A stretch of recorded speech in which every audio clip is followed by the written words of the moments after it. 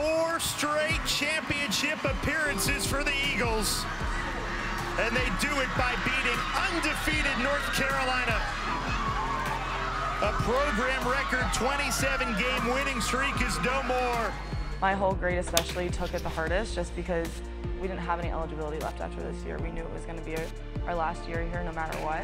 Kind of flashbacks from the past Final Fours and how each year the ending was the same, never making it the full way. I think it definitely fueled us a lot for this year and to know that, you know, it's everything that you have is within the team and that's the only way that we're going to win. So the relationship piece and having fun was, was key. Um, and then talking about our mental spaces, where were we?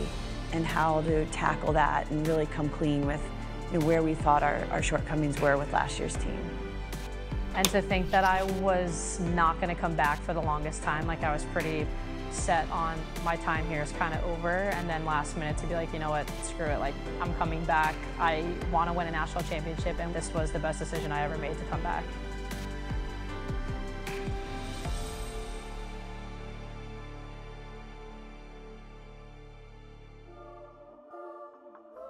we did a walkthrough in the stadium and it was great. The, the, energy was good. I think our, our, I know that our players just wanted to play them. Like they just were like, we, we need to play this game. We cannot wait to play this game. So we knew it'd be hard. There were 6,000 plus people in the stands. It was really loud. From Alumni Stadium in Chestnut Hill, where it might be March, but this one has a May feel to it, like the last time these two teams went head to head. Walking into a stadium that is so big and filled with so many lacrosse fans, whether it was BC fans or it was UNC fans.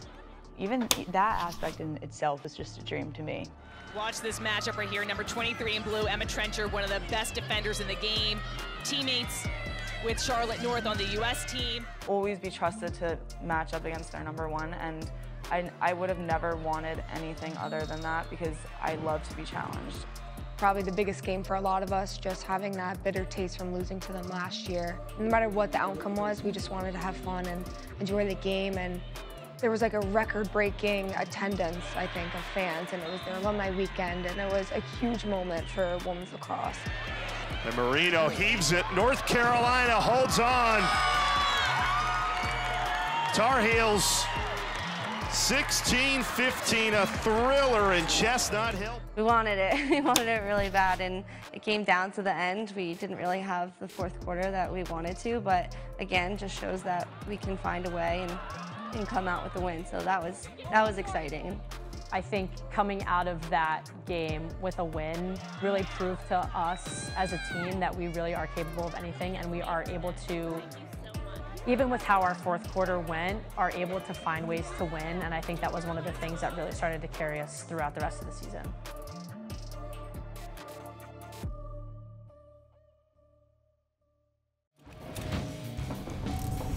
All eyes on Dorrance Field where it's senior night, Chapel Hill, North Carolina.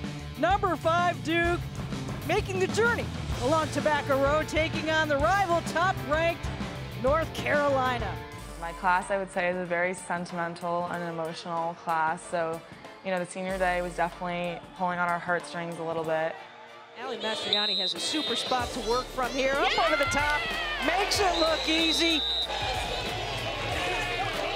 For Ali Mastroianni.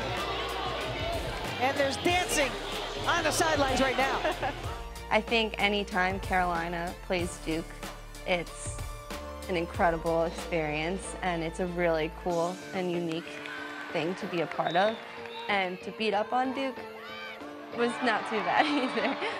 One of the things I really tried to focus on was keeping myself composed because I know that a lot of the times in situations like that, our emotions can get the best of us, and I think that's something that really affects the people around you. Last regular season game ever for my career, and it being against Duke was so much fun. I've never lost to Duke in all my five years here, which really sticks with me. Your regular season champions for the 11th time, the North Carolina Tar Heels, the number one seed in the upcoming ACC championship. And I just think that our kids just wanted to go out and prove to themselves, more importantly, that we're, we're going to just go out and dominate them.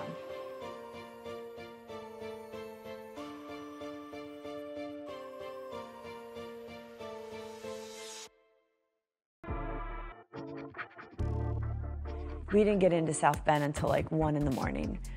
And, um, and people were just tired because everything at that point, like their student part of their lives are coming to an end of the semester.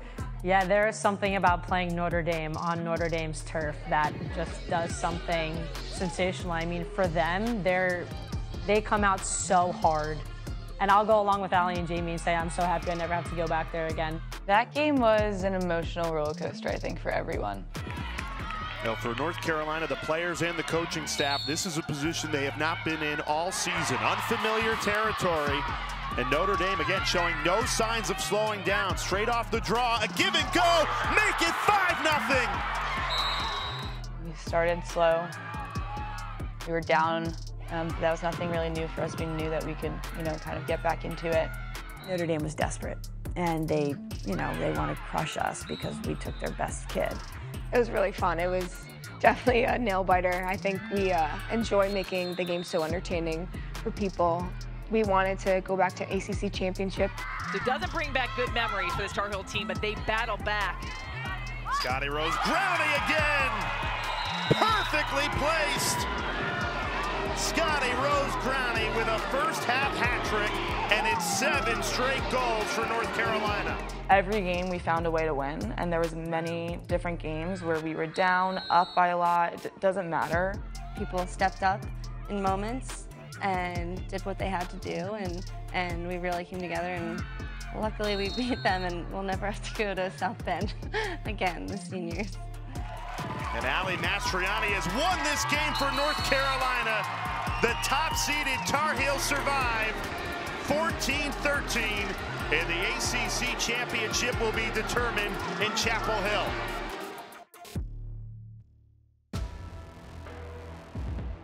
So we are in the number one slot, knowing that BC had to come to us. BC, meanwhile, is thinking, we've never won an ACC championship. We keep losing to Carolina. We've got Charlotte North, we've got the defending national champs. We want to win the ACCs. BC's offense is obviously fueled by Charlotte, but if they're not going through her, they have a ton of other threats. And when they're clicking all together with their dodging and cutting, they're definitely a really hard unit to stop. Now, just as it's hard for the footing of the offensive players, it's also hard for the defensive players as well. So it goes both ways. How does she do it? Charlotte North tiptoes around the crease, places it in, and Boston College takes a 6-3 lead. Um, again, not really our greatest start, but putting goals in the back of the net, winning draws, getting cost turnovers, goalies making saves, the little tough plays, those all come together and just create an incredible momentum shift. North Carolina trying to pull one back, and they do! With under five seconds left in the half, Scotty Rose provides the immediate answer. That's a huge shot in the arm for this top-seeded Tar Heels team coming out at halftime, being down, was really going to be a test to see if we can really lock it in and focus. I remember at half, I think it was like 6-3, but never crossed my mind that we were going to lose. I knew how, spe how special and talented our team is, and I think that we are definitely a second half team. We come out swinging, and that's what we did. They're playing really solid one-on-one -on -one defense. Well, there's the inch Jamie Ortega needed against Sydney Scales, and we have history. With that goal, Jamie Ortega passes Jen Adams for most career points in the ACC. Jamie's just a stellar teammate, a stellar lacrosse player, and an even better person. She has worked so hard. She's one of the most humble people I've ever met. And she's competitive, so I'm sure she knew that she was getting towards that moment. Um, but I think the team was more excited for her and the coaching staff was more excited for her than, than she was outwardly. 20 seconds to shoot.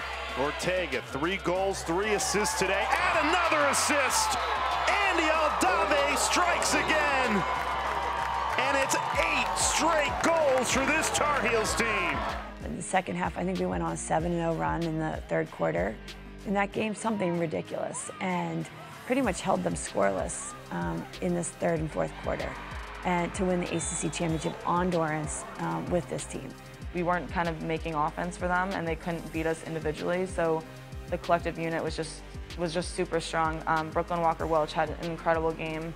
Shut down, like her girl didn't end up scoring once, and it was a bunch of individuals, you know, winning their own battles, but ultimately we were doing it as a collective unit, so it was awesome. Boston College desperate for a goal. Here's Charlotte North. 10 seconds to work with. Hands free. Moreno with the stop. A third quarter that the top seeded Tar Heels dominated. 7 nothing. They went from down two to up five. So I think in a game like BC, we just wanted it so badly and it was on our home field and that's the last time we're ever going to play there. You could feel it. You could feel it on the field. I know the sideline crew could feel it, and I think that gave us a lot of confidence going into the tournament. Statement win for the ACC championship for the Tar Heels. Make it six in a row for Jenny Levy in North Carolina. ACC champions again.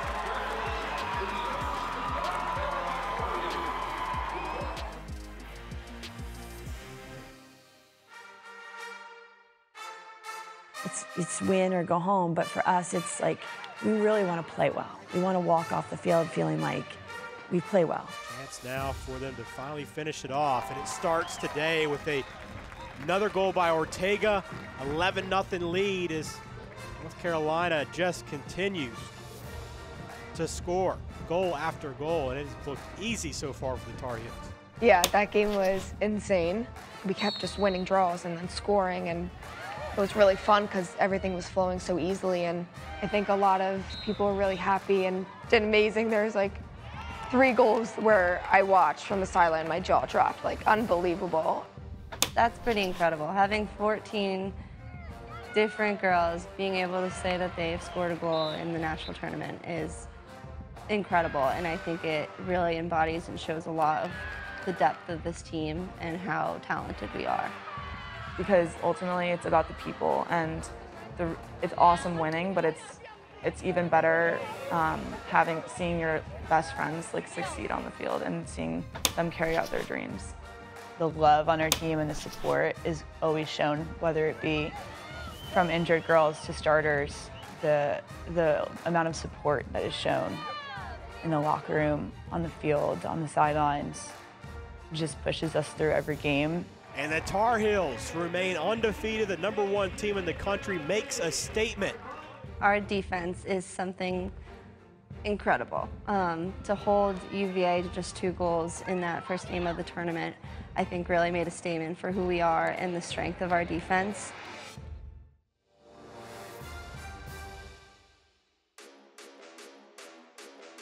We knew Stony Brook was going to be a really tough opponent.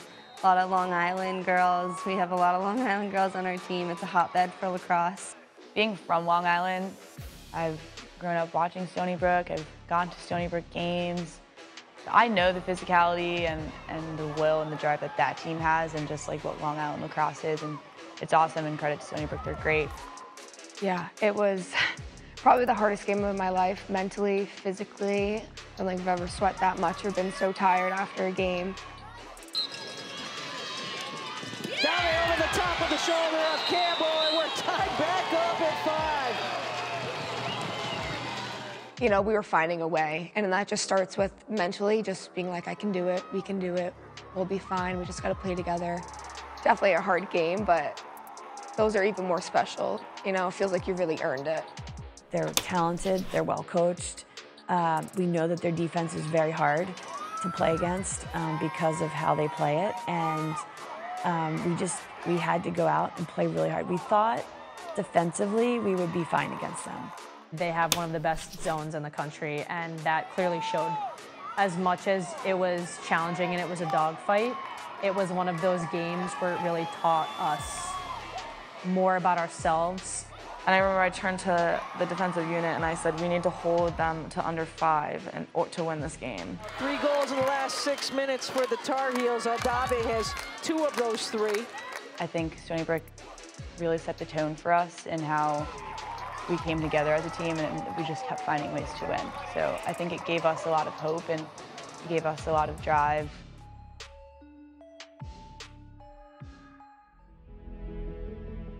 You know, they were in this spot a year ago, Rachel. When you take a look at North Carolina, they lost in that semifinal. The Tar Heels trying to go through for a full perfect season. Northwestern, they play a really competitive schedule and they play us a lot. So you know, they they have been losing to us recently. So they come in with a chip on their shoulder. Thank you and welcome to Homewood Field on the campus of Johns Hopkins University. As the top-seeded North Carolina Tar Heels take on the Northwestern Wildcats. Nice double team. And yet Northwestern beats it. A 6-0 start. Who could have predicted this? Not our best start, down by six goals in, in the first quarter alone. You want to make sure that they have the fine balance for finding the fight and heart in this game. Okay, that was a lightning whistle. Lightning within eight miles. We knew this could be the case. It was a gift, and I knew it was going to be a gift. Jenny and our assistant, Kaylee Waters, were, you know, took us in and just were like, how are we feeling? Like, honestly, like, be open. And people said, you know, I'm nervous, I'm scared, I'm overwhelmed.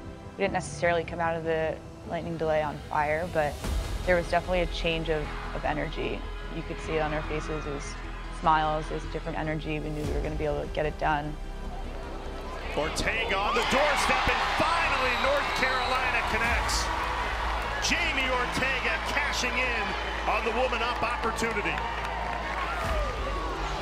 Trying to find back-to-back -back goals as they dig out of a six-goal deficit. Mastroianni breaks through. We end up going 2-2 with them in the second quarter, but obviously we're down six. So Emily's like, Jenny, that we can't trade goals with them. North Carolina has made a goalie change. Taylor Moreno, who's been a model of consistency all season, is out. Alicia Nicholas is in.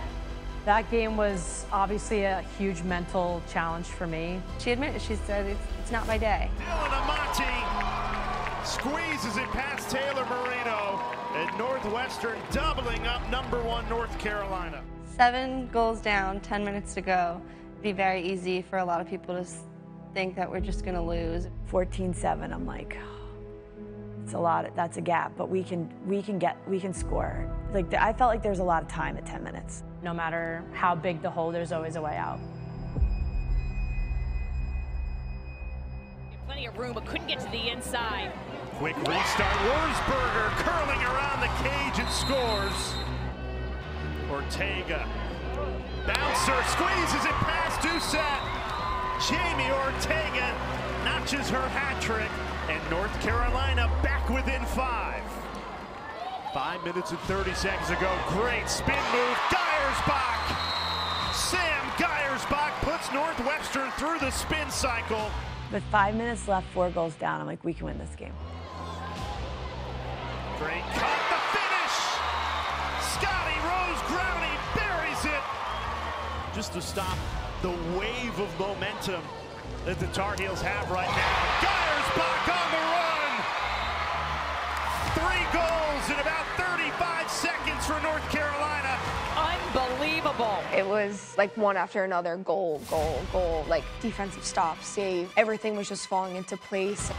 Does Northwestern have enough in the tank to hold on, clinging to a two-goal lead? Another goal! Geiersbach again! And Jenny Levy's team is just one goal down now in the national semifinal. There was just no way that we were losing that game at that point. What a comeback. Geiersbach spinning her way in, muscling it home. Sam Geiersbach again. Three straight goals for the transfer from Richmond, and that one ties it up at 14. We didn't go away, and we were not going to go away until that final buzzer went. Geiersbach, she's got the hot hand, trying to get the hands free. She scores! Sam Geiersbach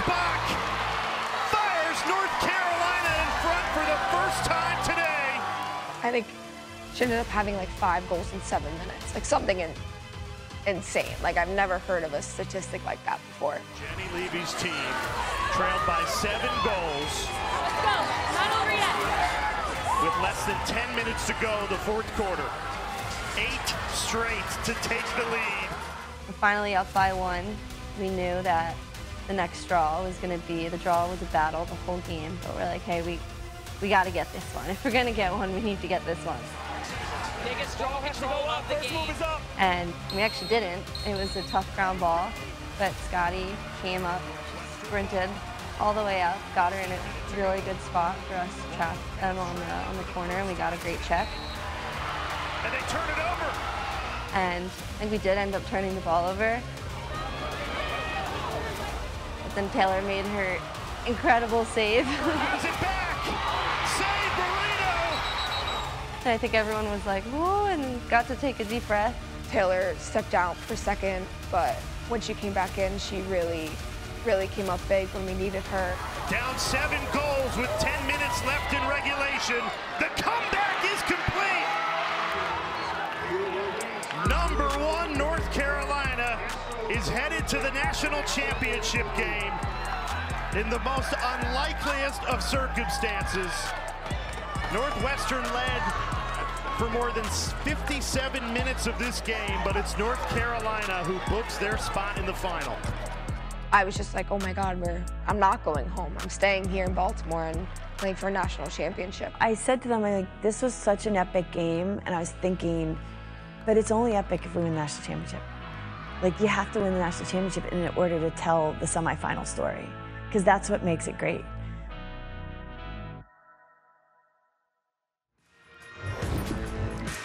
We welcome you to a beautiful day in Baltimore here at a sold out historic Homewood Field for the 2022 Women's Lacrosse National Championship. It's the reigning champs, Boston College, against the undefeated number one seed, North Carolina Tar Heels. I mean, people always say it, it's really hard to beat a, a team three times, and especially a team like Boston College, who is so talented across the board. You're young, you're fit, and you're strong, you can do it.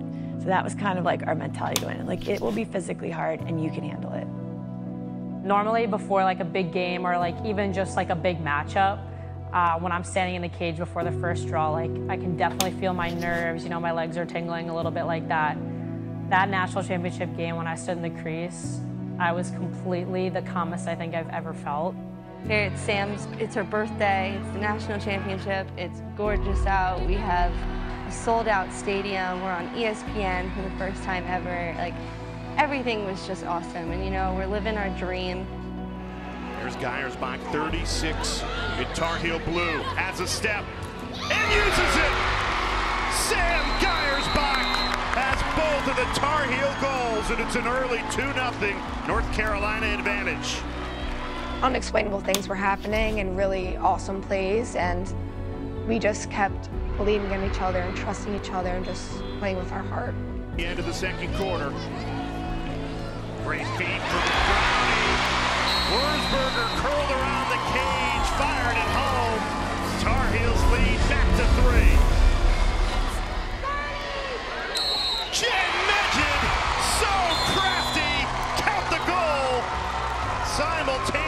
Whistle, and Jen Medjid makes it a one-goal game.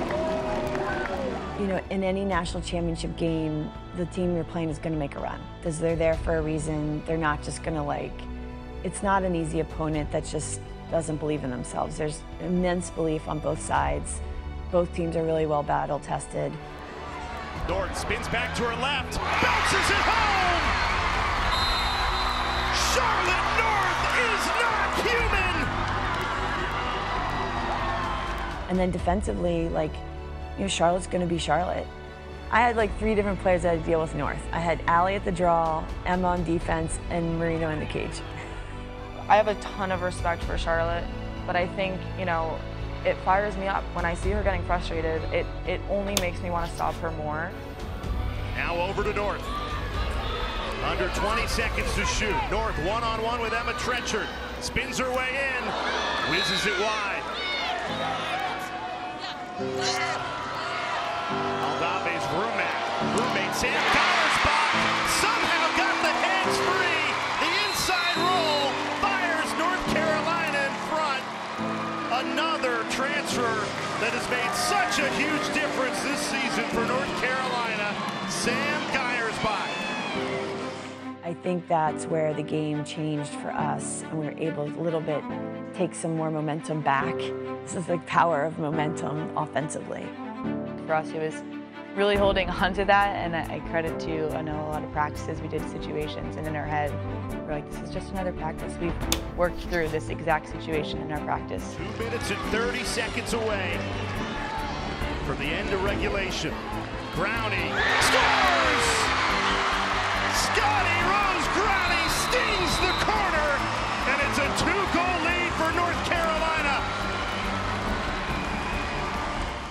Scotty's goal was electric. It was so awesome, and she made a, it was a great right to left split. She ripped the top corner lefty, and you could just feel the whole stadium erupt. I just kept telling myself, it's not over yet, it's not over yet, until that clock goes down to zero. It, the game is not over yet.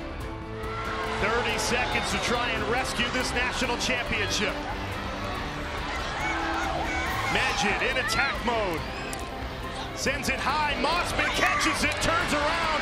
Couldn't get the hands free. Scooped up. Bounces it home. Cassidy Weeks. With 15 seconds left, makes it a one-goal game. Going into that final draw, I had all the faith in the world that we were going to win it.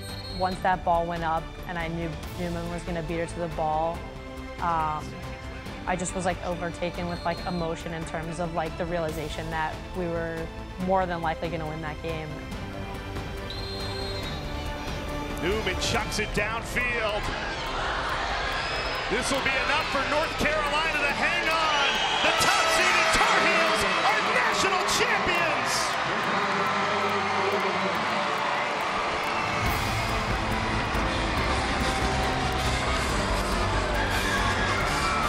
Yeah, best birthday I've probably will ever experience in my life. Everyone was like, it just had to be that way. Like it was fate that we had to get over the hump, beat BC in the national championship after losing to them like the past two years. Like it just had to be it that way and no other way.